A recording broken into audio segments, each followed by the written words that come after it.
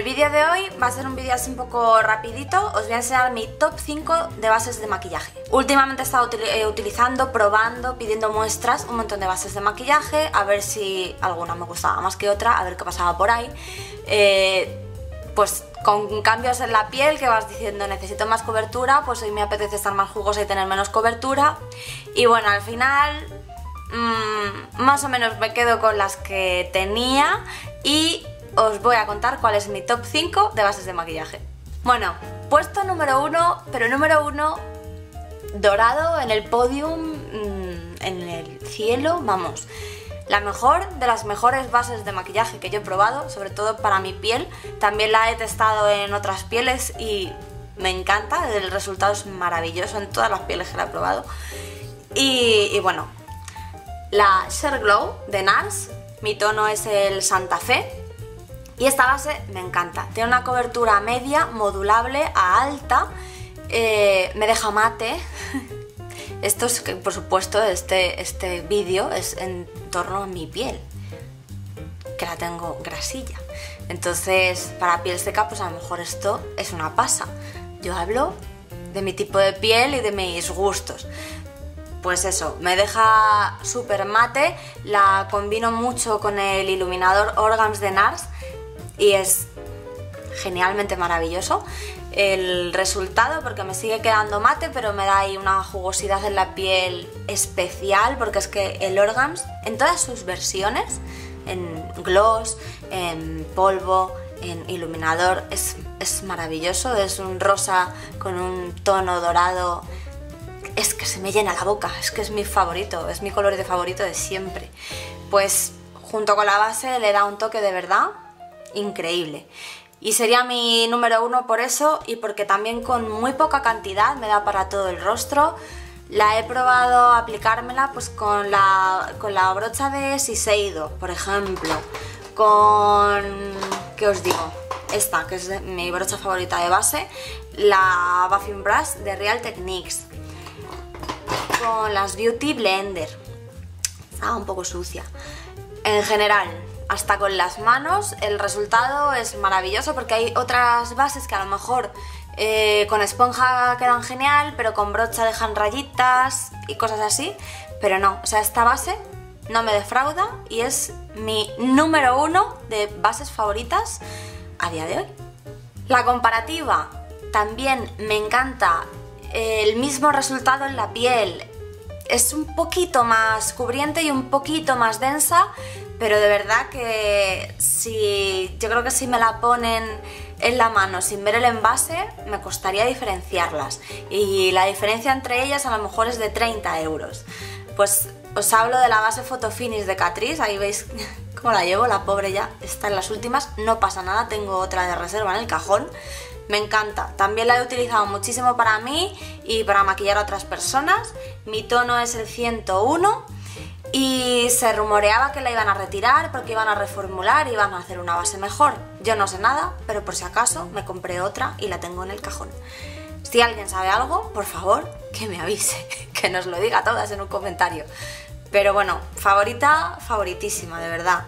Tiene más cobertura que la Zero Glow y para esos días que tienes cara de besugo es ideal, por 7 euros. Así que recomendada, recomendadísima en mi número 2 de bases. Bueno, en el número 3, eh, esta base la utilizo sobre todo para maquillar a otras personas, pero es verdad que cuando la pruebo en mí me queda genial, genial, genial. Es la Studio Fix Fluid de MAC. Como os digo, cada piel es un mundo, lo que pasa que yo luego, mm, si es una piel muy grasa, matizo más, pongo mm, prebases específicas, si es una piel más seca, la mezclo con otro tipo de bases más fluidas para darle otra textura, en fin. Lo que pasa que es una base muy modulable que se mezcla muy bien con otras y queda muy bien. Tiene una cobertura también modulable, generalmente media alta y, bueno, mm, me encanta esta base. Os voy a enseñar los tonos que yo utilizo, que esto no os lo he contado nunca, pero como os digo es la base con la que yo maquillo fuera de mi casa, cuando tengo una sesión de fotos o lo que sea, es, es la base que yo siempre utilizo. Entonces tengo cuatro tonos. Estos son los cuatro tonos que yo utilizo. Me parece una tontería tener todos los tonos de base que hay cuando puedes tener el más claro y el más oscuro y hacer una mezcla estupenda. Ese es el caso que yo utilizo, eh, la NW55 y la NW15.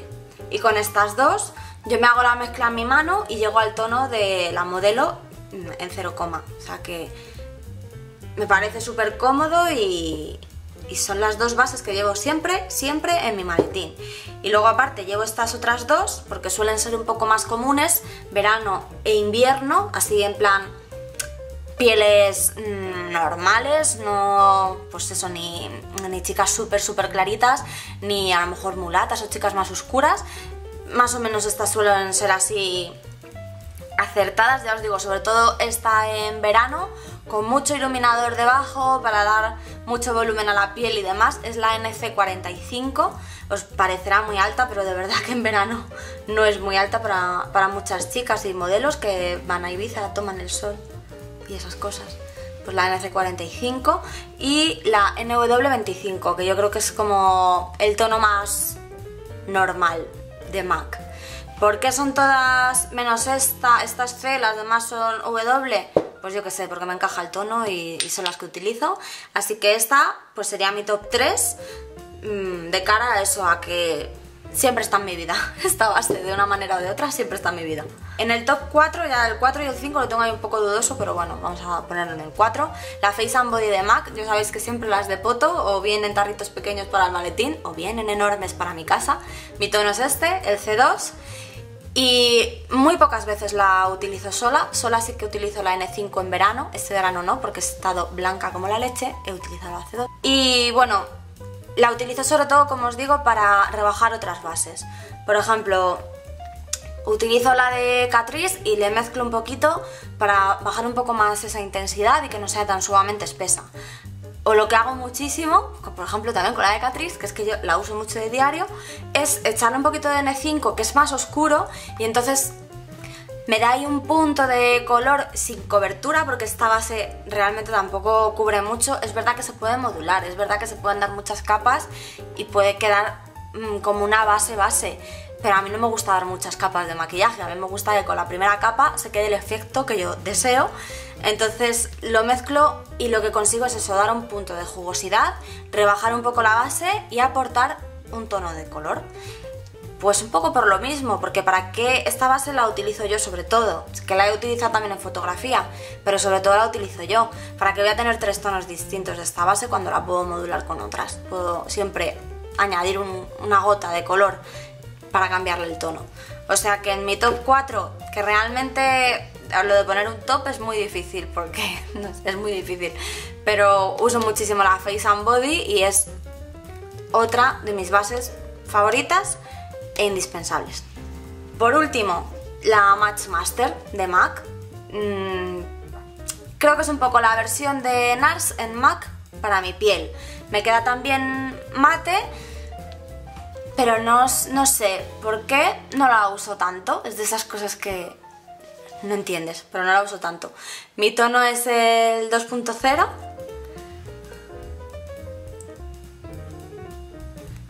Y bueno, pues igual, el acabado es mate, me difumina súper bien, que por eso me gusta mucho esta base, que se me, si lo mezclo con, nuestro, con otros productos funde muy bien, eh, con poca cantidad también me da para todo el rostro, o sea que me gusta mucho. Lo que pasa que bueno, mm, Creo que no la uso tanto porque la usé muchísimo una temporada y, vas cambiando de productos, vas probando otros y ya está, no tiene más misterio. Pero bueno, estaría también en, mi top 5 de bases. Yo espero que me contéis cuál es vuestra base favorita o vuestras dos o tres bases favoritas, qué es lo que más os gusta. Si tenéis la, piel parecida a la mía, que me comentéis alguna. Tengo por ejemplo una que tengo ganas de probar, que una de vosotras me dijisteis hace muchísimos meses, de Revlon que me dijisteis que era como un clon de la Mars Master, si no me equivoco, o de la Ser Glow, pero a lo barato. No me acuerdo de cuál me dijisteis. Tengo que, lo tengo guardado por ahí para el día que me dé el punto probarla.